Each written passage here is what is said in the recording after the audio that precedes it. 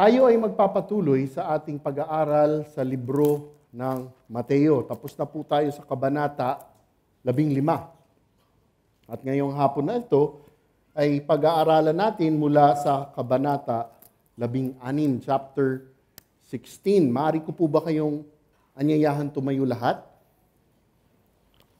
Pinamagatan natin ang ating pag-aaral sa hapon na ito, ang babala. Ako ho ay bumabasa sa versyon ng magandang balita, yung revised version. Kung ano man ang version ninyo, maaari po kayong sumunod.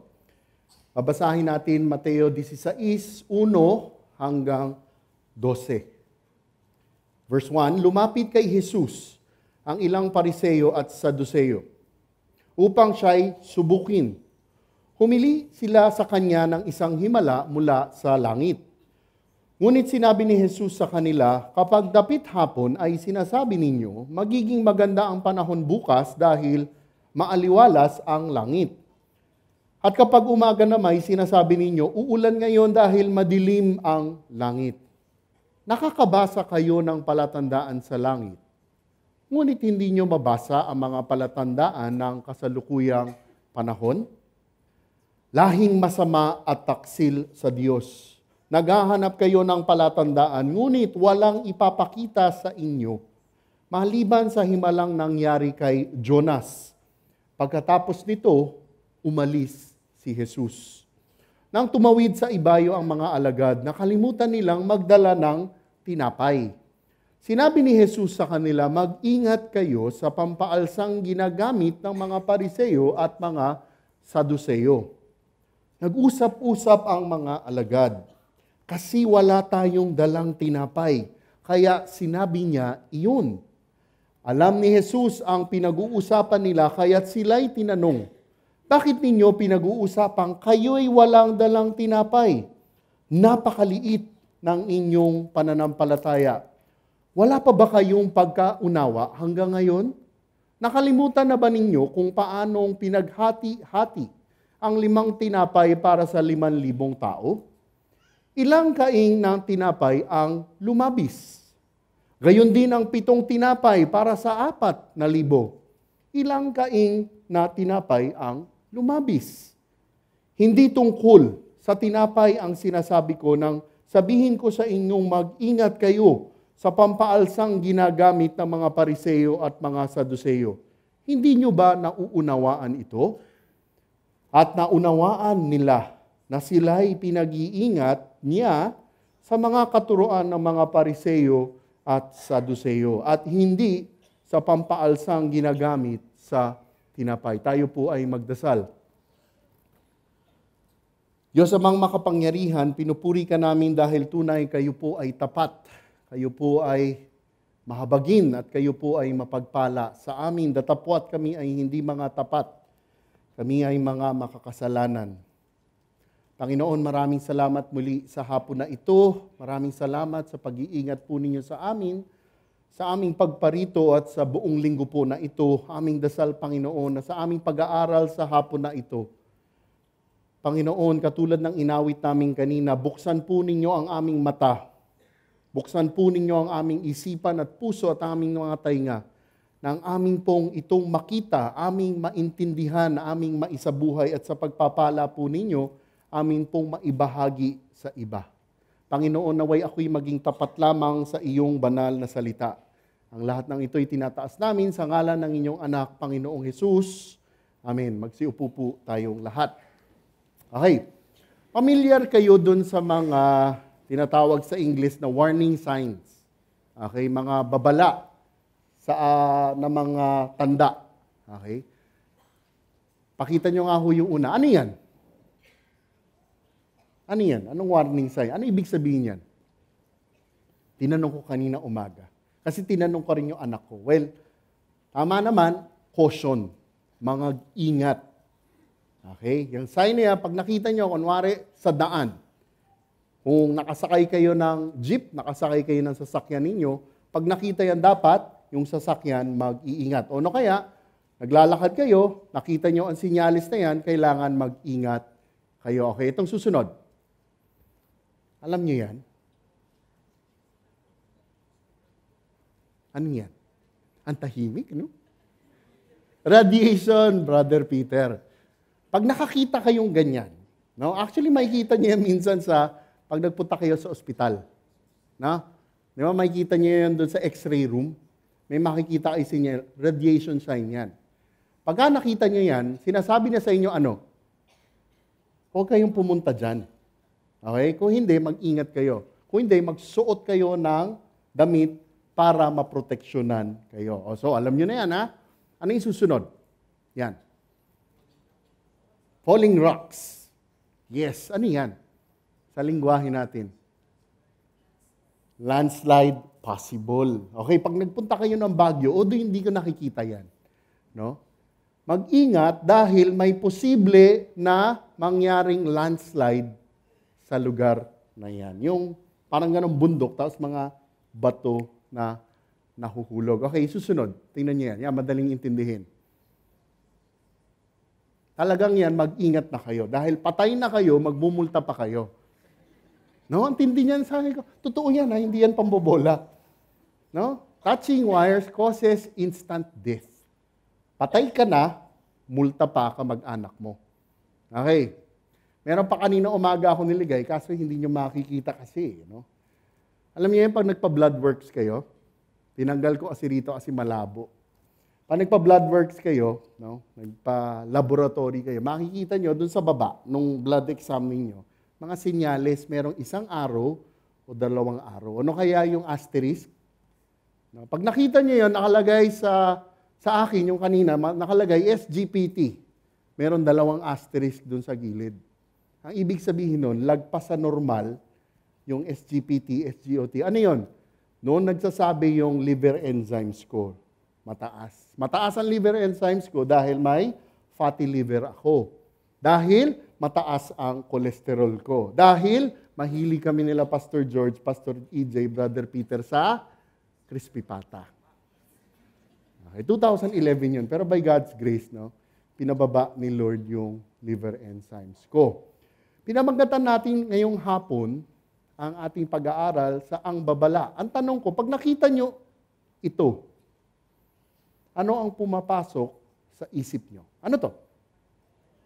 Bible, salita ng Diyos. So pag nakita natin ito, ano ang reaksyon natin? Whenever you see the Bible, what do you do? Ano ba yung iba sa atin dito? Pag nakita ang Biblia, akin na yan. Bubuksan ko yan, pag-aaralan ko yan, babasahin ko yan. Ganun ba tayo? O pag nakita natin yung Bible, nakikita mo pa lang. Di ba? Yung ibang ginagawa, pag matutulog na, ilalagay sa unan, baka sakaling maintindihan. No? O dili kaya, pag nakita nyo yung Biblia, ay hindi totoo yan.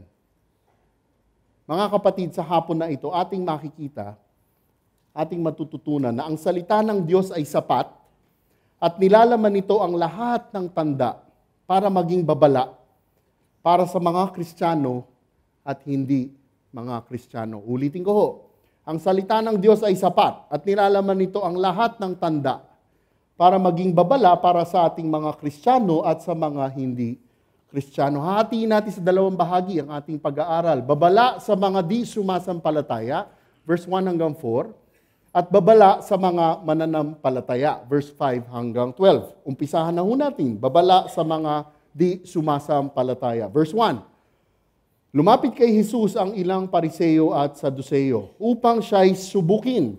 Humingi sila sa kanya ng isang himala mula sa langit. Okay.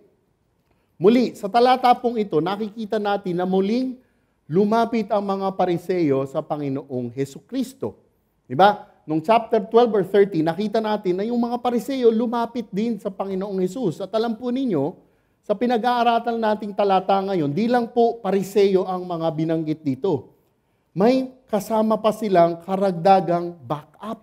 At sino sila? Ang mga Saduseo. Okay? So, sa original na salitang Greko, sinabi Pharisees at Sadducees. Yung salita sa Greko, nagsasabi na magkasama sila, magkaisa sila. Okay, para ating maintindihan ang katotohanan sa talatang ito, kailangan po nating tingnan kung ano ang background ukol sa mga pariseyo at Saduseo. Alam po ninyo, ang dalawang grupo ng ito ay sobrang tindi ng alitan, sobrang tindi ng gulo sa pagitan ng mga pariseyo at saduseyo. Ang mga pariseyo ay tinaguri ang mga legalists sa Ingles. Sila yung mga konserbatibo. At ang mga saduseyo naman ay tinaguri ang mga liberal, mga hindi konserbatibo. Ang mga pariseyo ay naniniwala sa muling pagkabuhay ng tao pagkatapos mamatay. Ngunit, ang mga saduseyo ay hindi naniniwala sa buhay pagkatapos mamatay. Para sa kanila, para kang ipis. Pag namatay ka na, tapos ka na. Ganon ang paniniwala ng mga saduseyo. Hindi po naniniwala ang mga saduseyo sa mga anghel. Hindi po sila naniniwala sa espiritu ng tao. Tulad ng sinabi ko po kanina, ang mga parisiyo ay mga konserbatibo. Sila ay naniniwala sa literal na interpretasyon ng salita ng Diyos. Okay, yung Old Testament natin, naniniwala sila dyan sa literal na interpretasyon ng salita ng Diyos, ng lumang tipan. Naniniwala din po ang mga pariseyo saan? Sa tradisyon.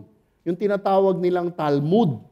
Nakasulat lahat ng tradisyon nila sa Talmud nila na sulat ng mga rabay nila. Ngunit ang mga Sadiseyo naman ay hindi naniniwala sa tradisyon. Hindi sila sumusunod sa Talmud. Hindi sila sumusunod sa turo na tradisyon ng mga rabay nila. Ang tanging pinaniniwalaan nila ay ang banal na kasulatan nila, yung Old Testament natin. Pero mas matindi pa sa Saduseo, naniniwala sila na mas totoo ang yung first five books, yung Pentateuch.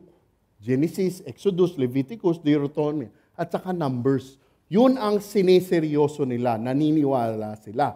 Ngunit ang problema, sobrang ino-over, spiritualize nila pag-interpret nila. Naniniwala nga sila, ngunit mali naman ang interpretasyon nila.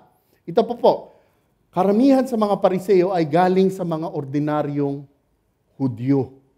Ngunit ang mga Saduseo ay mga tinatawag na mga aristokrato. Sila yung mga mayayaman. Sila ay galing sa mga pamilyang mayayamang Hudyo. Sa katunayan, ang pinakamataas na pari sa templo ay isang Saduseo. Ang mga Saduseo po ang may hawak ng pagpapatakbo ng templo. Ito po ang kanilang ginagawang negosyo. Yun ang mga Saduseo. Ang mga Saduseo ay ano pa? Mahilig makihalubilo sa mga hentil na politiko. Kaya nga po sila ay maimpluensya na grupo. Kaya nga't galit na galit ang mga pariseyo sa mga saduseo. Dahil para sa mga pariseyo ay di dapat nakikiisa sa mga hintil na politiko kung ikaw ay isang Hudyo. Kaya nga't ang dalawang grupo na ito ay akala mo parang mga pusa at aso. Awayan ng awayan, bangayan ng bangayan. Hindi sila magkasundo. Sundo. Ngunit, ngunit, pansinin po ninyo ang sinasabi sa talata na ito. Magkasama sila. Magkaisa sila. Sila ay magkasundo rito. Lumapit kay Jesus ang pariseyo at saduseo. Sa pagkakataong ito, nagkasama at nagkasundo ang dalawang grupong ito Isinantabi nila ang mga alita nila. Isinantabi nila ang mga personal na pagbabangayan nila. Dahil sa pagkakataong ito, may isang kaaway sila. At ang kaaway nilang ito ay walang iba kung hindi ang Panginoong Heso Kristo. Ang objetibo po nila ay atakihin ang Panginoong Heso Kristo. Ang layunin at pakay nila ay siraan at pulaan ng pagkatao ng Panginoong Heso Kristo. Kaya tingnan ninyo, ang ginawa ng dalawang grupong ito. Lumapit kay Jesus ang ilang paruseo at saduseo upang siya'y subukin. Pause muna tayo doon. Itong mga tinatawag na mga legalist at mga liberal, mga konserbatibo at hindi konserbatibo ay lumapit sa Panginoong Heso Kristo para ba matuto sila? Para ba makinig sila? Hindi po. Lumapit po sila para subukin siya. They came up to test the Lord Jesus. Tunay na ang dalawang grupong ito ay mga taong hipokrito. At hindi lang hipokrito, mga napakasamang mga taong Hudyo. Isipin po ninyo, isinantabi nila ang mga alita nila para pagkaisahan nilang parehong kaaway na siraan nila. They came to attack the Lord Jesus. Pansinin po ninyo mga kapatid. Unbelievers seek the fellowship of unbelievers to achieve a common goal. Sabi nga sa English, birds of the same feather flock together. Alam po ninyo, nangyayari ito sa panahon natin ngayon. May mga iba-ibang grupo sa mundo natin ngayon na hindi magkaisa-isa. Ngunit ano objetibo nila? Sirain ang katotohanan, sirain, siraan ang Panginoong Heso Kristo. Magtataka kayo. Ibang grupo, hindi magkaisa, ngunit pagdating sa katotohanan, magkakaisa sila para siraan ang katotohanan ito. We see this outside the church, and alam nyo, nakakalungkot, we see this inside the church. Kaya itong mga hipokritong pariseo at suduseo na to ay may tapang pang lumapit sa Panginoong Heso Kristo upang siya ay subukin, upang siya ay hamakin. Kaya ano pong sinabi nila? Tingnan ho ninyo, humingi sila sa kanya ng isang himala mula sa langit. Okay, tulad po ng ating pag-aaral sa Kabanata 12, dito din sa libro ng Mateo. Review po tayo sa chapter 12 ng Matthew. Nakita natin sa kabanata na iyon na ang mga pariseyo din ay humingi ng isang himala. Humingi siya ng isang tanda mula sa langit. Yun yung nakalagay sa Matthew 12. Mula sa talatang ating ngayong pinag-aaralan, ang mga pariseyo at ngayon naman ay kasama na ang mga saduseyo ay muling humihingi ng isang himala at humihingi ng isang tanda mula sa langit. Mga kapatid, ang mga himala na ginagawa ng Panginoong Heso Kristo ay hindi sapat para sa dalawang grupong ito upang makumbinsi sila kung sino talaga ang Panginoong Heso Kristo. Hindi po sapat sa kanila ang himala na siya ay nagpakain ng apat na libo, limang libo, sa totoo lang, libo-libong tao. Hindi po sapat sa kanila iyon. Hindi po sapat sa kanila na ang Panginoong Iso Kristo ay nagpagaling ng bulag, lumpo, at napakaraming mga, mga kapansanan ng mga tao. Hindi po sapat sa kanila yon. Hindi po sapat na maniwala sila na pinahinto ng Panginoong Heso Kristo ang napakalakas na bagyo hindi po sapat sa kanila iyon. Hindi po sapat sa kanila na muling binuhay ng Panginoong Heso Kristo ang isang patay na tao. Hindi po sapat sa kanila. Hindi sapat sa kanila na mismo ang demonyo, ang mga demonyo, ay kinalala kung sino talaga ang Panginoong Heso Kristo. Di ba yung sabi ng demonyo? Son of the Most High. Hindi sapat sa kanila. Baliwala ang lahat ng ito para sa mga pariseo at mga saduseyo. Kaya't narito sila para subukin ang Panginoong Heso Kristo. Sa pamamaraan ng paghihingi ng isang himala, isang tanda na nasa kalita, kalangitan, matatagpuan.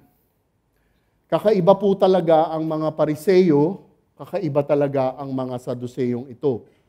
Sa totoo lamang po, dahil hindi nila kinikilala dahil hindi nila tinatanggap ang Panginoong Heso Kristo.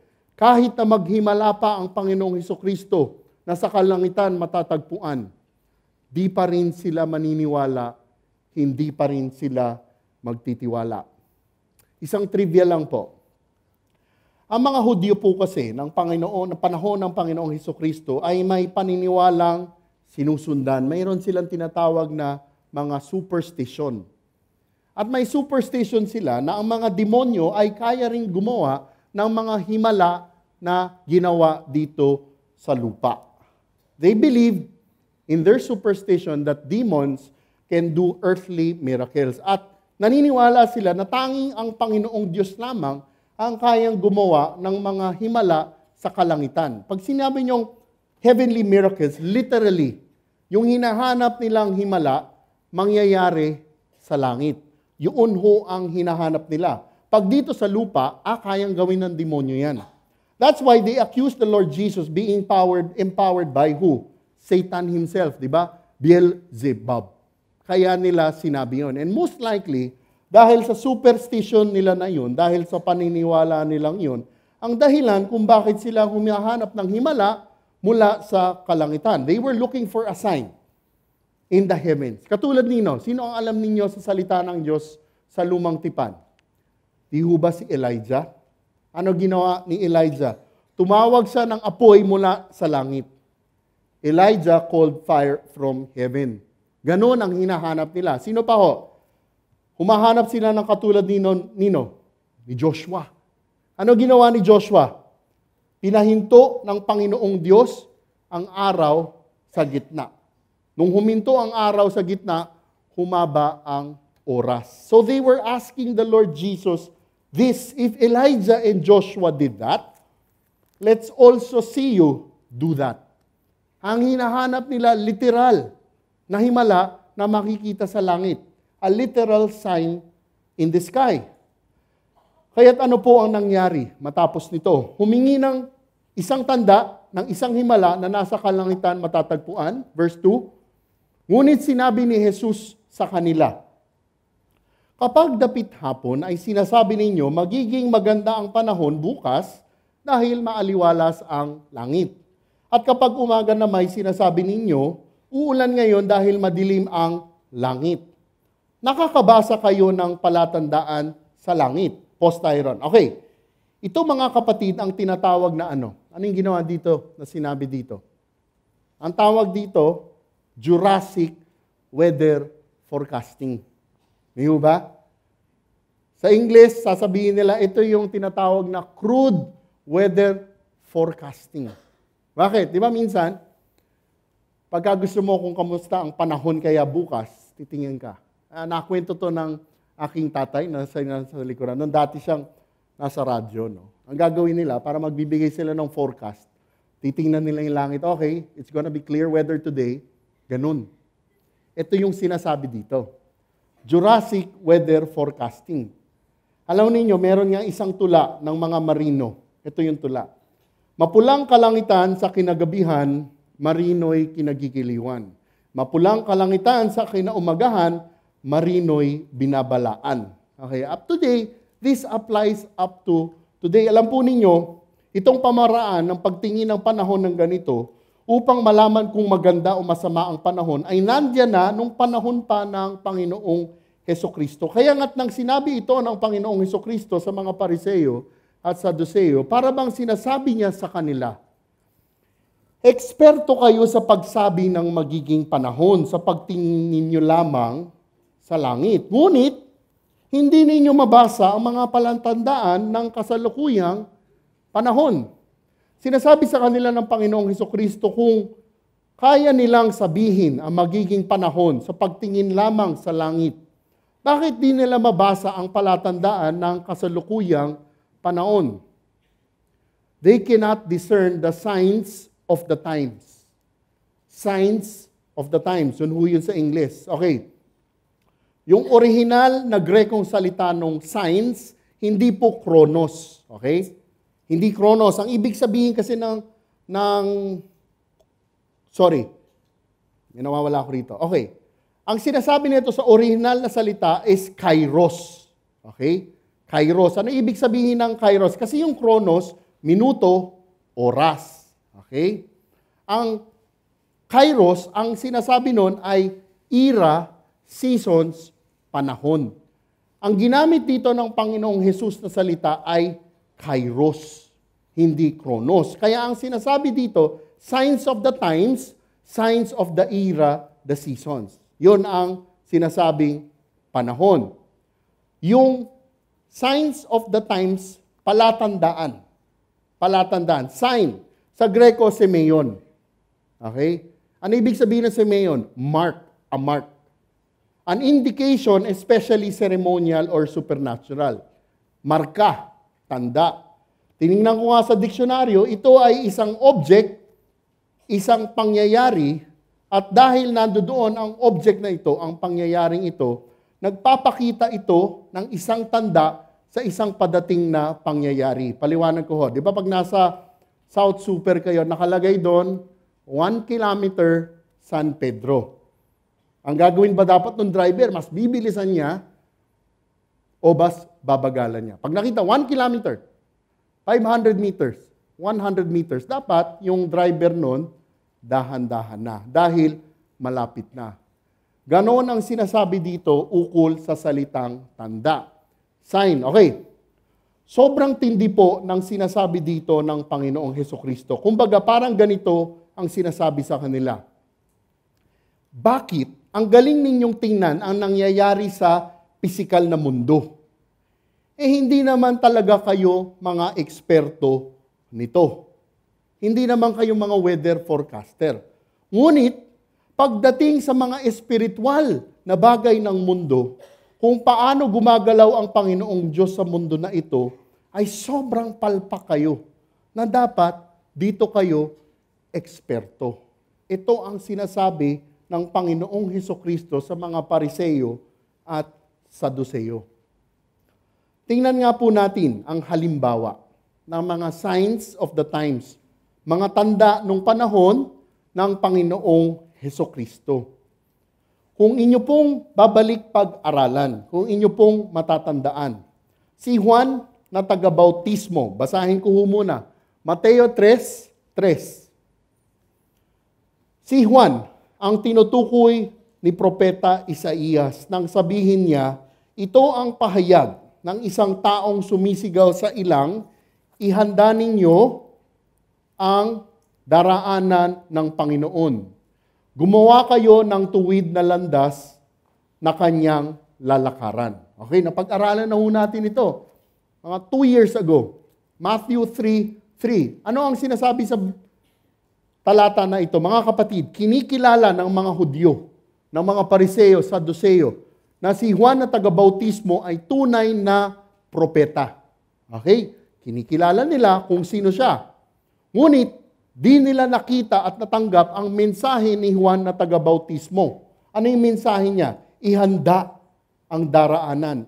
Ihanda dahil padating na ang Mesyas at tagapagligtas. Naalala niyo yon pagdating sa libro ng Juan, sinabi niyang, Behold, the Lamb of God. Kinilala nila siyang propeta, pero pagdating sa mensahe niya, hindi nila nakita. Hindi nila nakita ang tanda na iyon, ang senyales na iyon. Tingnan pa ho ninyo to. Isa pang tanda, isang palatandaan. Mateo 1, versikulo talata 1. Ito ang talaan ng mga ninuno ni Heso Kristo na mula sa angkan ni David na mula naman sa lahi ni Abraham. Matthew 1.1 pa lang, pag tiningnan natin. No? Ganito ho kasi ang mga Hudyo. Sobrang importante sa kanila ang talaan ng mga lahi nila. Alam niyo ho ba yung genealogy dati, sinusundan talaga nila. Bakit? Kasi, pag may dumating na sinasabing tagapagligtas, pag may sinasabi niyang Messiah ako, alam mo gagawin nila? Ilalabas nila mga manuscript nila. Sino ka? Sino tatay mo? Pag sinabi sino ka, sino tatay mo, susundan nila yan. Tatay mo, lolo mo, tatay ng lolo mo, tatay ng lolo ng lolo mo. Susundan nila yan pabalik.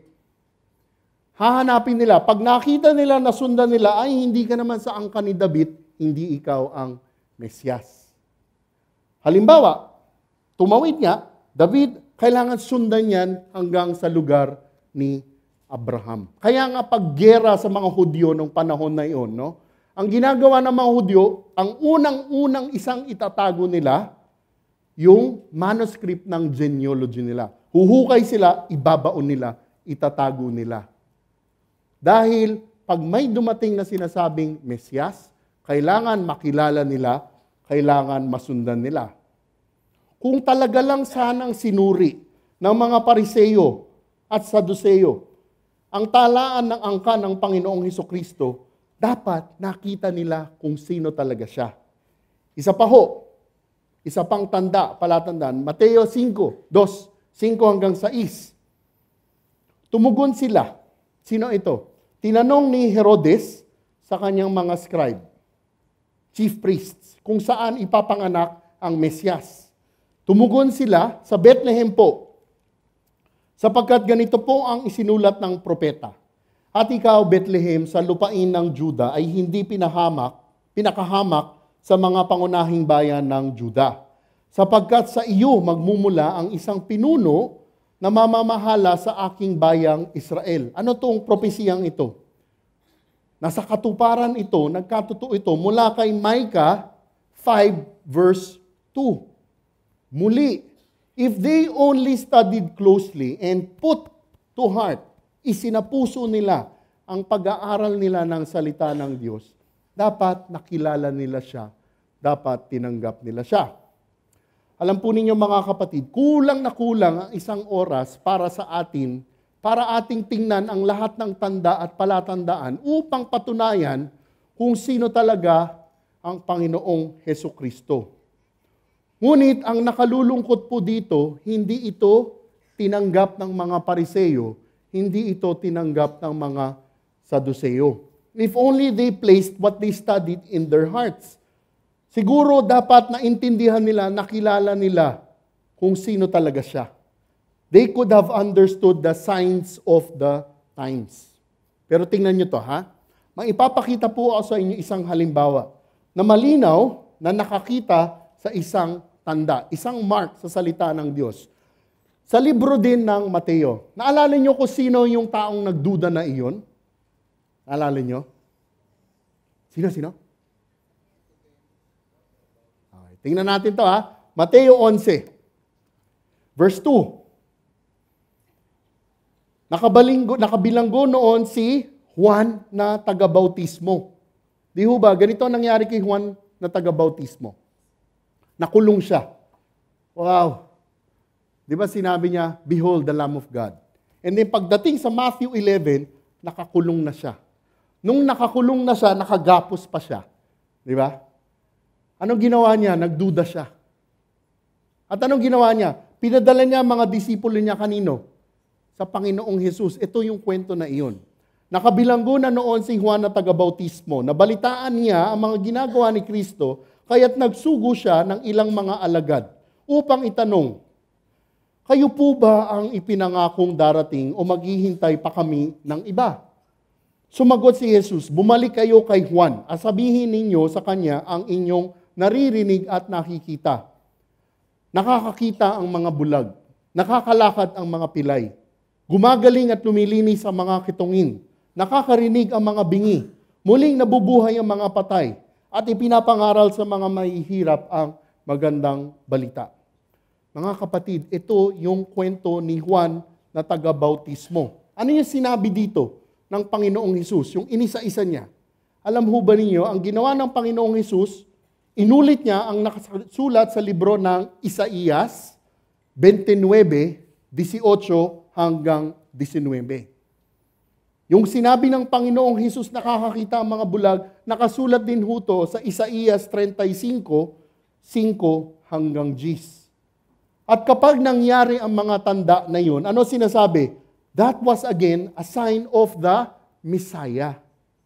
And because John the Baptist recognize the sign. Bakit na-recognize ni John the Baptist? Alam niya ang salita ng Diyos. Alam niya ang pangako ng salita ng Diyos. John the Baptist was again affirmed and confirmed na ang Panginoong Hesus talaga ang tunay na Messiah. Mga kapatid, kaya ho tayo, kung mag-aral ng salita ng Diyos, verse by verse by verse by verse. Yun ho ang isang intention natin. When you move away from God's Word, you will surely faith, fail to see the signs. May mga turo sa panahon ngayon na tinatawag na biblinis. Alam ho ninyo yung biblinis? May mga verses, pero hindi talaga galing sa salita ng Diyos. Biblical verse, pero puro kwento. Biblical verse, puro kwento. Biblinis. Pagka ganun ho, mag-ingat po tayo. Mga kapatid, ang mundo natin ngayon, ang nakalulungkot, parang mundo noon ng mga pariseyo at sadeseyo. Bakit? Our world fails to recognize the signs of the times. Sa panahon natin ngayon, we fail to recognize the signs of the times. Napakaraming mga eksperto ngayon. Masasabing nila ang ano, mangyayari sa ekonomiya. Masasabi nila kung ano ang mangyayari sa politika. Maraming mga eksperto ang masasabi kung may padating na gera at ano ang kalalabasan ng isang gera. Alam ba ninyo, mayroon nga ngayong bagong siyensya. Ang tawag dito sa English, futurology. Kung tutuusin, parang itong science ng mga manguhula. Pero hindi lang siya basta manguhula yung, ah, okay, ano mangyari? Hindi. Itong futurology ay isang sistema ng pagsasabi ng maaaring mangyari sa darating na panahon. Siyensya na ito ng panghuhula. At alam niyo ba, yung mga insurance companies, nag-a-attend, nagbabayad ng napakamahal na libo-libo para mag-attend ng mga seminar na ito, futurology. Mga kapatid sa pananampalataya, ang nakalulungkot sa mundo natin ngayon, datapwat napakarami po ang makapagsasabi ng mga maaaring mangyari sa pisikal na mundo natin. Ang mundo natin ngayon ay hindi makita at hindi mabasa ang mga palatandaan kung paano gumagalaw ang Panginoong Diyos sa mundo natin ngayon. They can see everything, but the world does not see how God is moving in the world. Nakikita ng tao ang mga palatandaan ng mga pisikal. Ngunit hindi nakikita ang mga palatandaan ng mga espiritual. Napakarami na pong mga palatandaan kung paano gumagalaw ang Panginoong Diyos sa ating kapaligiran. Bibigyan ko po kayo ngayon ng ilang halimbawa. Buksan ho ninyo ang libro, ang mga Biblia ninyo sa Mateo 24. 4 hanggang talata 8. Sumagot si Jesus, mag-ingat kayo upang hindi kayo mailigaw ni numan. Maraming paparito sa pangalan ko at magpapanggap na sila ang Kristo at marami silang maililigaw. Pos ako doon. Familiar sa inyo to? Marami ang magsasabi na sila ang Kristo. Dito lang sa Pilipinas, mayroong isang ganitong tao na nandun sa Timog, na nandun sa Davao. Sasabihin niya, appointed son daw siya. Ito ang sinasabi ng Panginoon. Isa lang siya. Marami pang iba. Verse 6, Makaririnig kayo ng mga labanan at makakabalita ng mga digmaan sa iba't ibang dako. Ngunit huwag kayong mababahala dahil talagang mangyayari ang mga iyon. Bagamat hindi pa iyon ang katapusan ng mundo. Wars and rumors of wars. Sobrang dami. Wars, marami na. Rumors of wars, napakarami lalo. Di ba sasabihin, palagi sa CNN, baka gerahin ng ganito ang ganito. Baka gerahin ng ganito ang ganito. O naggera na yata sila. Hindi ba ito ang nangyayari sa panahon natin ngayon? Maglalaban-laban ng mga bansa at gayon din ang mga kaharian. Magkakaroon ng tagutom at lilindol sa maraming lugar. Ang lahat ng mga ito ay pasimula pa lamang ng mga paghihirap na tulad ng isang babaeng nanganganak. Highlight ko lang, lilindol sa maraming lugar. Alam ho ba, sabi ng mga siyentista, sinasabi nila ngayon, sa century lamang na ito, kakaiba na talaga. Bakit? From 1900 hanggang 2000 to our present time, sa dami ng lindol na nangyari, kakaiba daw talaga. Never in the history of the world has so many earthquakes that happened within a century. At hindi lang basta lindol, malalakas na lindol. Hindi ho ba ito ho ang isang sinasabi dito. By God's grace, doktor po ako. May mga nakikita kaming sakit na hindi ko maintindihan. Hindi, pa nag-uusap ng mga doktor, bakit, bakit parang grabe? No? Well, sinabi na ng salita ng Diyos. Di ba ngayon may epidemic ng measles, ganito, ganito. Pag inisip na, measles ha, measles, epidemic. Kahit na bakunahan ka na nga minsan, nagkaka-measles ka pa. Hindi mapaliwanag ito ng sensya. Ngunit ito ang sinasabi ng salita ng Diyos. Isa pa hong palatandaan. And gusto ko nyo itong pakinggan. 2 Timothy chapter 3. Okay? Para sa atin ito. Dapat, mo, dapat mong malaman na sa mga huling araw ay magkakaroon ng mga kahirapan. Ang mga tao ay magiging makasarili, sakim sa salapi, palalo, mapagmataas, mapagmasamantala, suwail sa magulang, walang utang na loob, at lapastangan sa Diyos. Sila ay magiging malupit, walang habag, mapanirang puri, marahas, mapusok, at namumuhi sa mabuti. Sila ay magiging mga taksil, pabaya, mayabang, mahilig sa kalayawan, at walang pag-ibig sa Diyos. Sila ay magkukunwaring makadiyos. Ngunit hindi naman nakikita ang kapangyarihan nito sa kanilang pamumuhay. Iwasan mo ang mga ganyang uri ng mga tao. End of age ang sinasabi dito sa 2 Timothy chapter 3. I-highlight ko lang po yung nakalagay sa verse 2. Ang mga tao ay magiging makasarili. Mas maganda sa English to eh. Sinasabi sa English, people will be lovers of themselves. Lovers of themselves. Ano tawag natin dito sa panahon natin ngayon? Bagong salita ito sa diksyonaryo. Selfie. Sorry ah. Pero hindi ko maarok, hindi ko maisip na may mga tao ngayon, di ba okay lang yung kung mag-isa ka sa kwarto, sa mirror, di ba? Okay.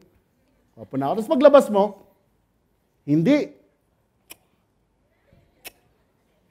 Di ba? At ipapaalam pa sa buong mundo. Di ba? May joke nga dun sa Facebook, parang, anak, bakit 25 beses ka magpicture sa sarili mo sa loob ng kalahating araw? Selfie. I cannot even imagine us doing that today. Meron ako nakita nung papunta ako dito sa CCF, tumatawid, nagsiselfie, oh. Muntik lang masagasaan ng bus. Kidding aside, this is it. Ito na yun. Lovers of themselves. You, really, we are very self-centered creatures. Pero ito, kakaiba na. Selfie, Muli mga kapatid, ilan lamang po yan sa mga tanda na nakikita natin. Ang mas matindi pa, hawak na natin ang kumpletong salita ng Panginoong Diyos. Pati yung mga tenda nila noon, palatandaan nila noon, ay alam na natin ngayon. Proof. We are living in the end of age.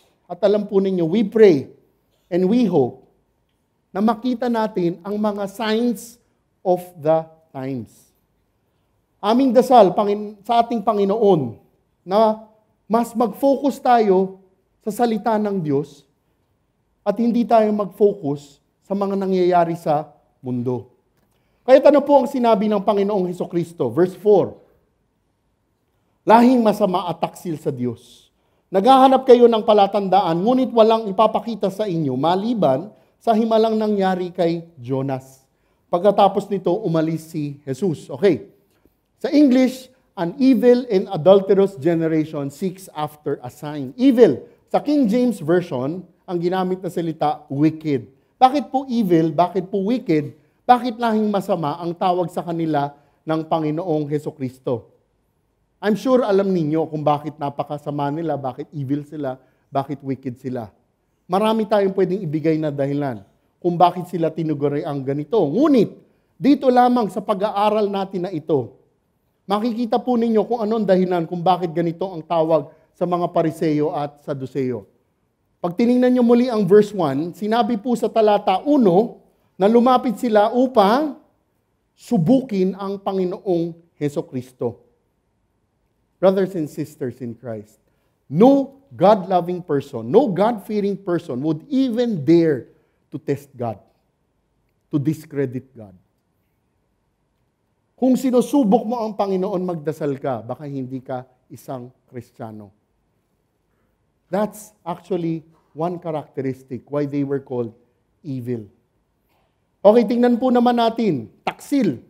Why? Sa English, adulterous. Katulad po ng isang taong taksil sa asawa, ang mga pariseo at suduseyong ito ay mga taksil sa Panginoong Diyos. Bakit kamo? Datapwat sa panlabas ay mukha silang sumasamba. Ngunit ang mga puso naman nila ay iba ang sinasamba. Sinasamba nila ang mga sarili nila. Kaya nga't mga taksil sila. Ano pa po ang sinabi ng Panginoong Heso Kristo sa mga masasama at mga taksil na mga ito? Dahing masama at taksil sa Diyos, naghahanap kayo ng palatandaan, ngunit walang ipapakita sa inyo maliban sa himalang nangyari kay Jonas. Pagkatapos nito, umalis si Jesus. Ano mga kapatid ang tinuturo ng katalatang ito? Sinabi po ng Panginoong Jesus na walang ipapakita sa inyo maliban sa himala na nangyari kay Jonas. Balikan ho ninyo yung Matthew 12, 39. Matthew 12, 39. Sumagot si Jesus, lahing masama at taksil sa Diyos. Naghahanap kayo ng palatandaan, ngunit walang ipapakita sa inyo maliban sa himalang nangyari kay Propeta Jonas. Verse 40, kung paanong si Jonas ay tatlong araw at tatlong gabi nasa tiyan ng dalubhasang isda, dalum, dambuhalang isda, ang anak ng tao ay tatlong araw at tatlong gabi rin na nasa libingan. Ano po ang binabanggit na himala dito? Ano ang tanda na sinasabi rito? Ang tanda ni Jonah ay tumutukoy sa muling pagkabuhay ng Panginoong Hesus. Ang nangyari po kay Jonah ay isang tinatawag sa Ingles a type, isang pagsasalarawan sa Panginoong Hesus. Katulad ni Jonah, tatlong araw nasa loob ng tiyan ng isang malaking isda. Gayon din naman po ang Panginoong Hesus na matapos niyang mamatay, ay pagkatapos ng tatlong araw ay muli siyang nabuhay. Ito po ang binabanggit na tangga, tanda at himala ni Jonah dito. Mga kapatid, maliban po sa salita ng Panginoong Diyos, hindi po mapipilit ng mga pariseyo, hindi mapipilit ng mga saduseyo ang Panginoong Heso Kristo para magbigay ng tanda para lamang sila ay maniwala. Apart from God's complete and written word, God does not go around giving out new signs. Wala na hong bagong revelasyon na idadagdag pa sa salita ng Diyos. God does not go around giving out new signs to try to convince people of His very existence. Hindi na ho gagawin ng Panginoong Diyos. God's word is sufficient for us. Kung hindi ka pa maniwala dito, hindi ko na alam kung ano ang gagawin sa iyo. Nais ko lamang pong itong sabihin. Kung isa po kayo sa mga tao na ganito, na hindi pa kinikilala ang Panginoong Heso Kristo, na tunay na tagapagligtas mo sa mga kasalanan mo. Datapwat sa dami ng tanda na nakasulat dito. Ang aral na ito ay para sa iyo. Ano pa pong tanda at himala ang inaantay mo para tanggapin mo siya sa puso mo? Natunay ang Panginoong Heso Kristo ang nag-iisang tagapagligtas mo. Pakinggan ho ninyo mabuti ito. Kaya't matapos ito sabihin ng Panginoong Heso Kristo, ano nangyari? Pagkatapos nito, umalis si Jesus. Nakita po ninyo kung ano yung nangyari? Umalis at iniwan ng Panginoong Hesus ang mga pariseyo at saduseyo.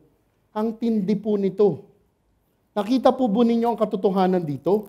Ang katotohanan itinuturo dito ay may punto sa buhay ng isang hindi tunay na disipulo, sa isang hindi sumusunod sa Panginoong Heso Kristo, na iiwanan ka na lang ng Panginoong Diyos kung hindi mo pa rin siya kikilalanin.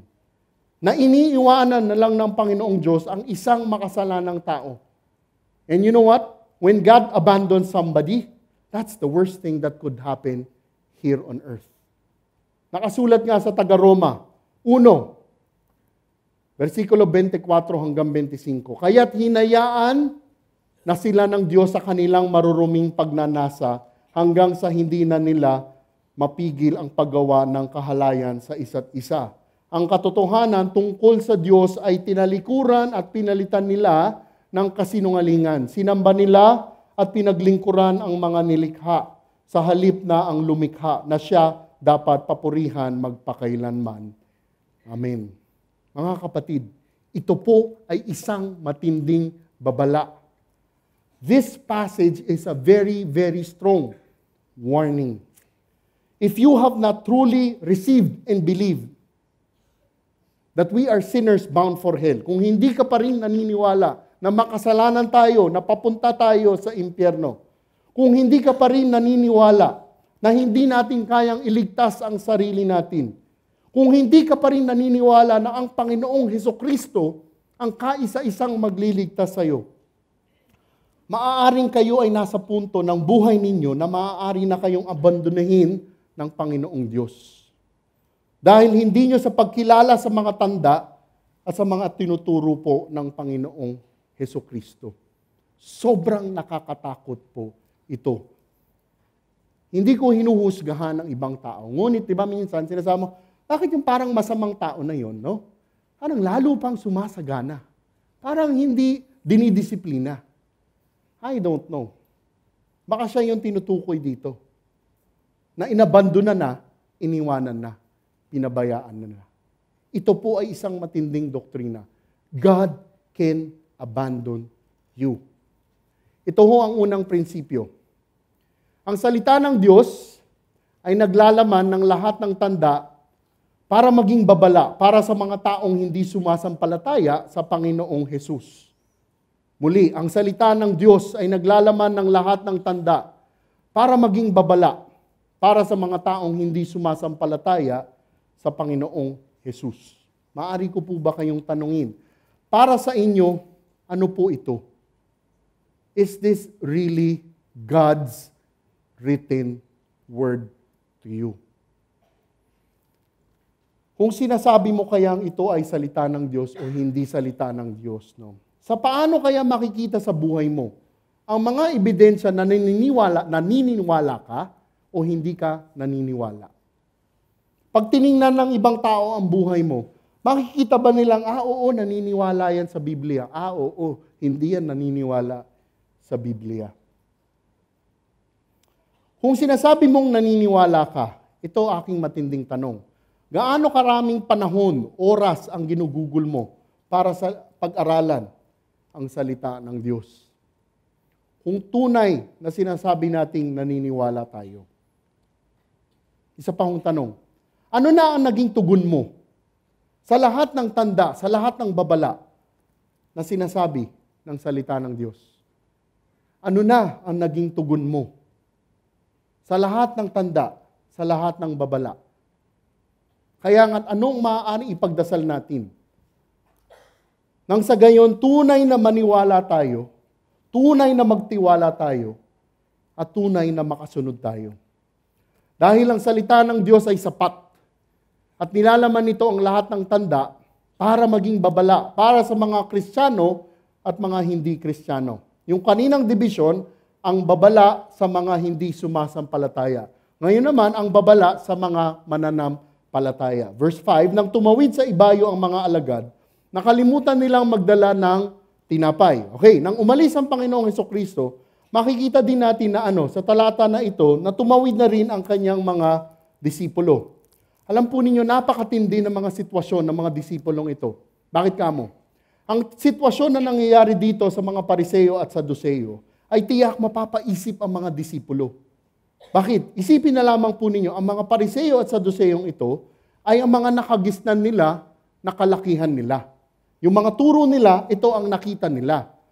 At muli sa puntang ito, kailangan nilang magdesisyon kung maninit, mananatili sila sa dating paniniwala nila o susunod sila sa mga bagong turo sa kanila.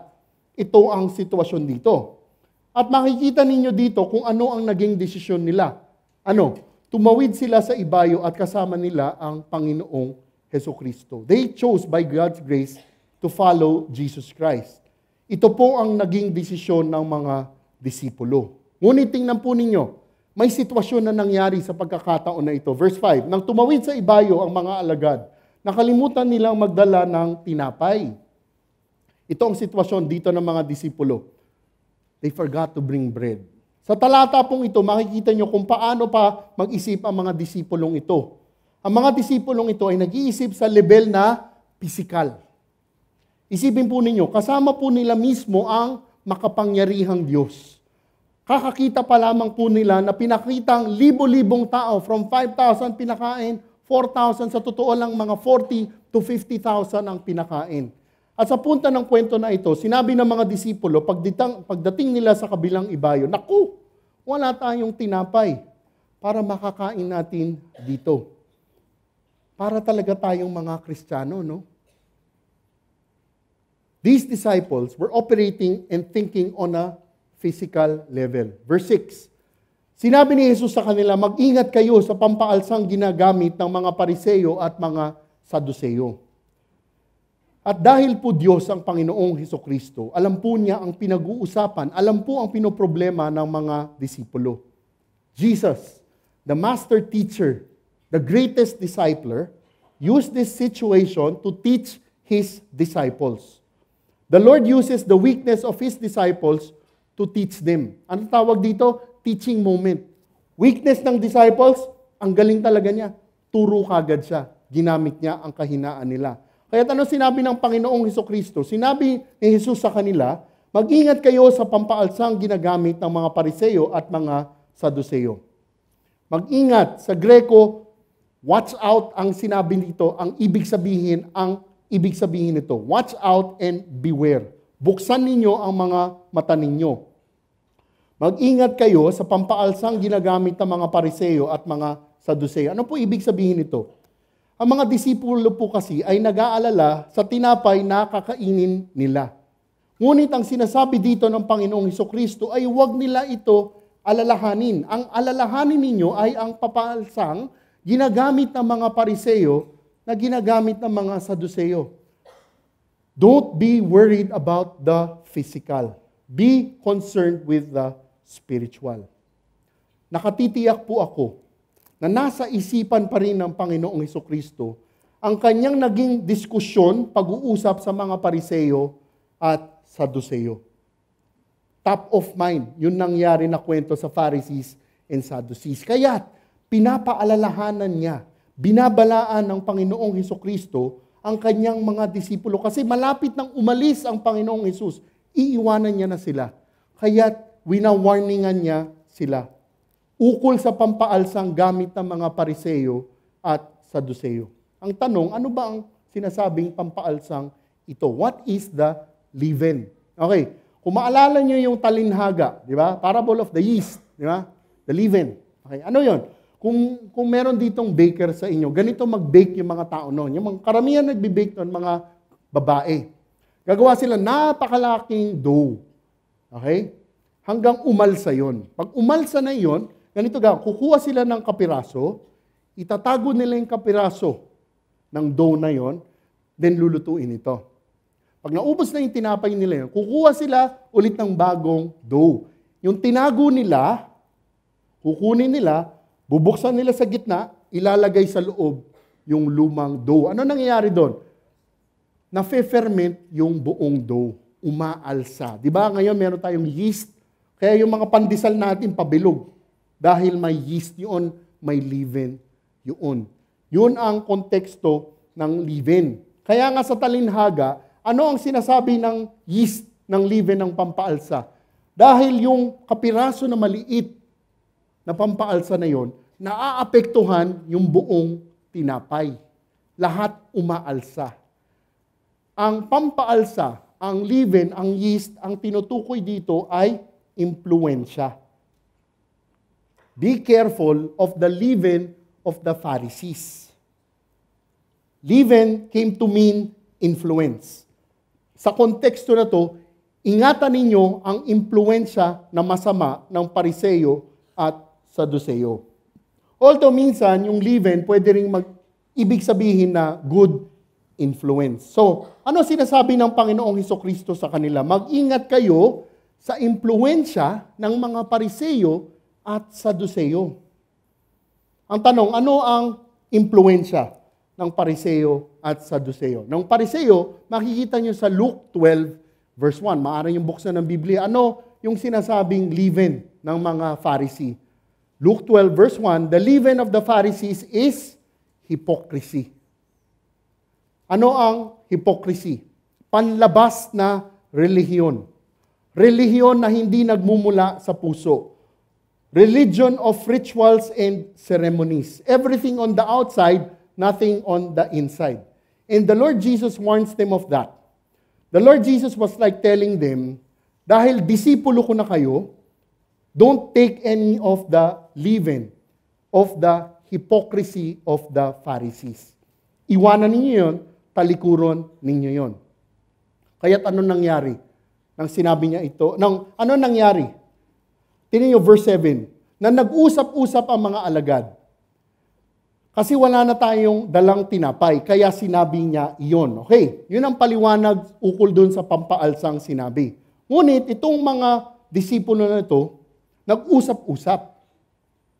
Pinag-usapan nila, ano ba yung sinasabing leaven na iyon? Dahil hindi nga nila maintindihan. Nagkaroon ng emergency meeting ang mga disciples.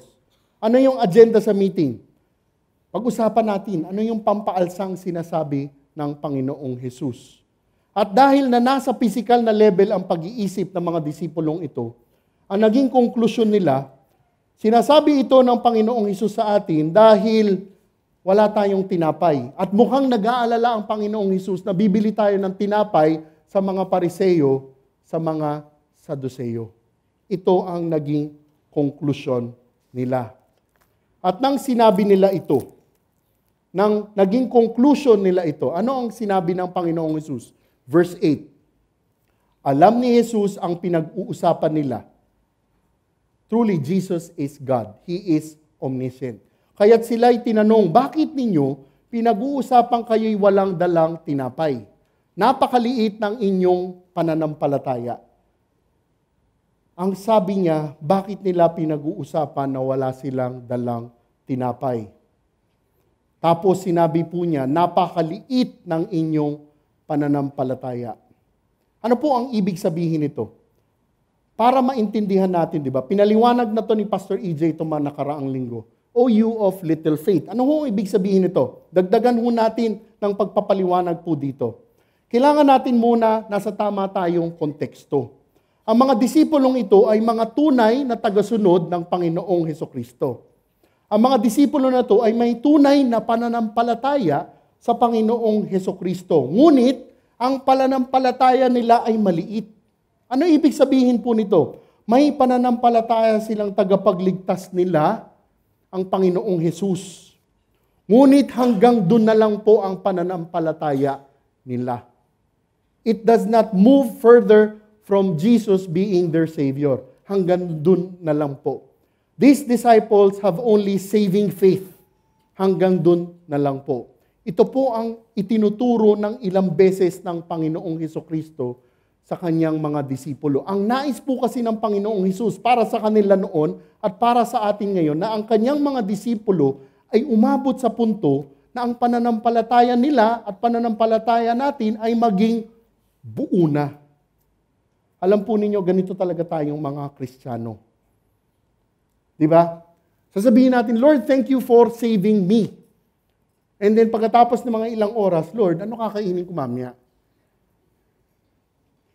Lord, grabe, thank you really for saving me. Papalakpak pa.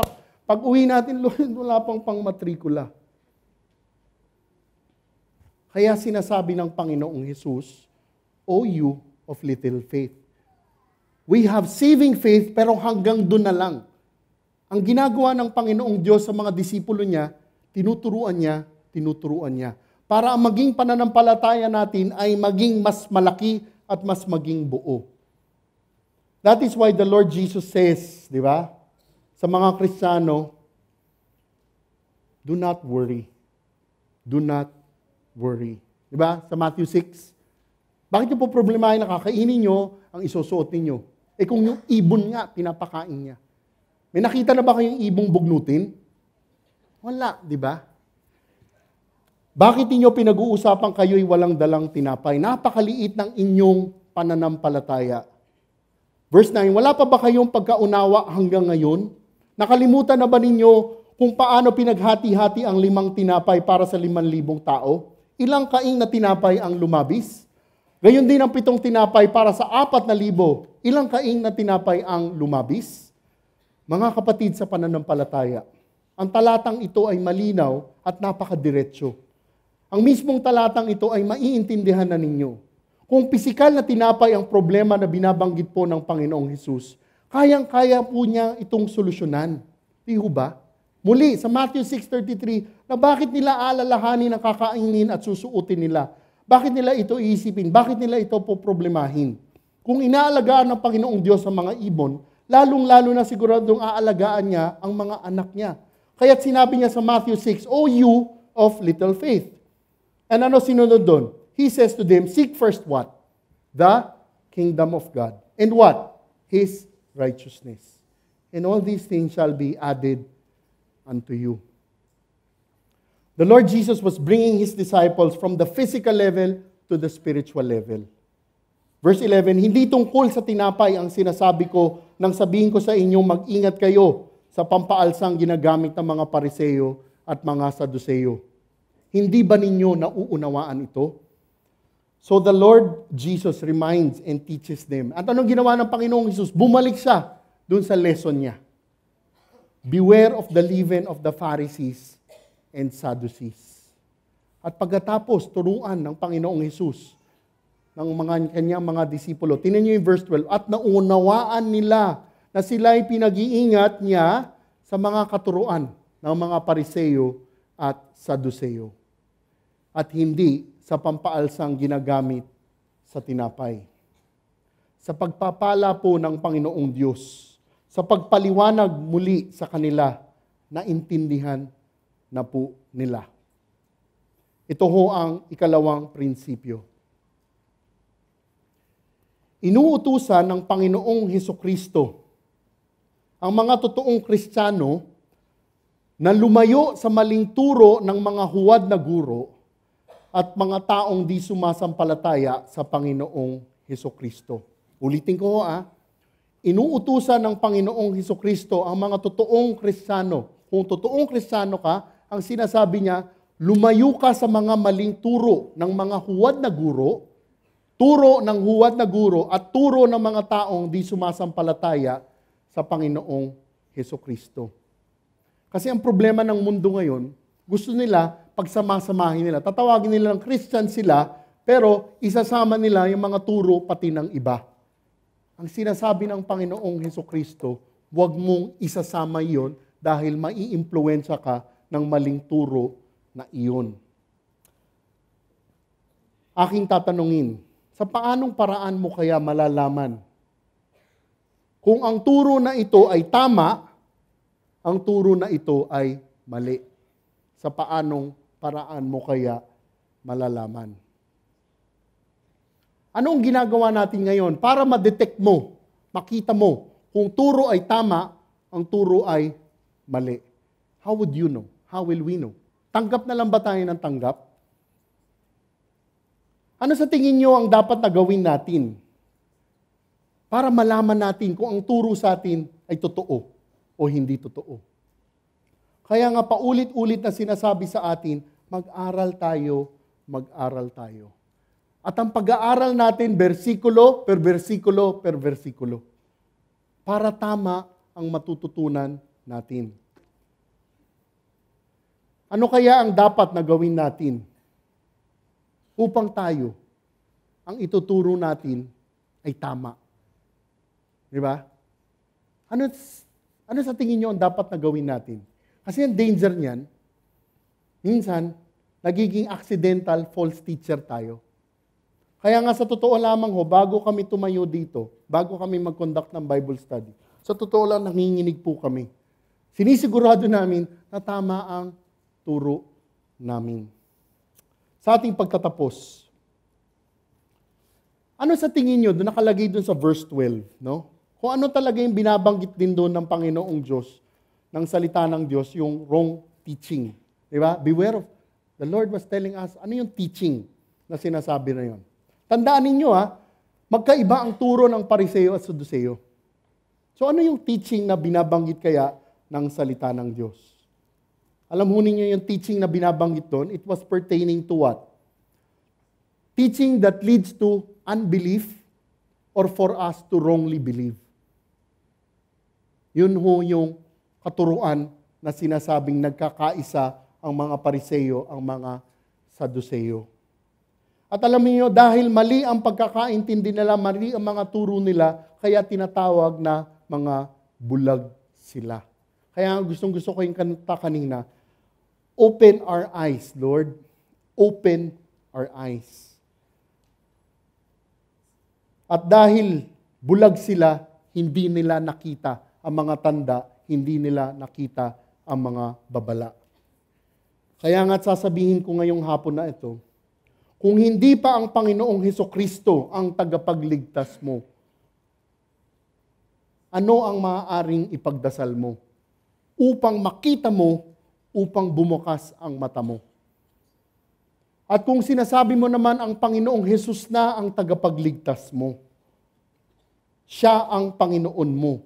Sa pag-uwi natin ngayong hapon, ano ang ipagdarasal natin upang ang buong atensyon natin ay nandi dito sa salita niya.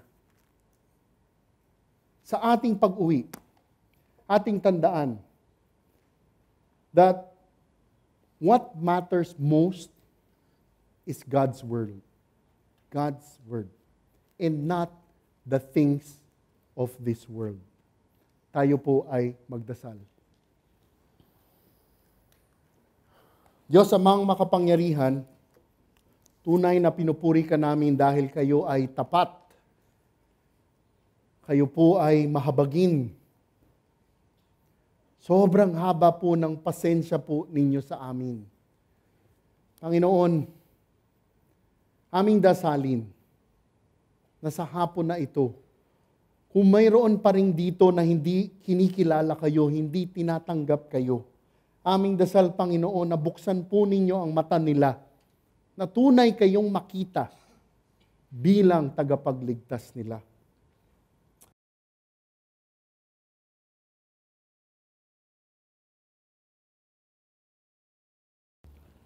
Aming dasal, Panginoon, sa hapon na ito, no kung ang Panginoong Hesus ay tunay na tagapagligtas namin, tunay na Panginoon namin, aming dinarasal, Panginoon, ang pag-iingat po ninyo sa amin, ang proteksyon po ninyo sa amin. Panginoon, hipuin po ninyo ang puso namin. Nang sa gayon, ang magiging mag-focus kami sa inyo, sa salita nyo, at hindi sa mga bagay sa mundo na ito.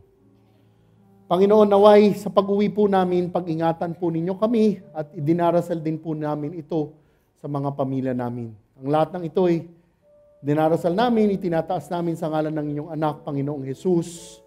Amen. Palakpakan po natin ang Panginoong Diyos.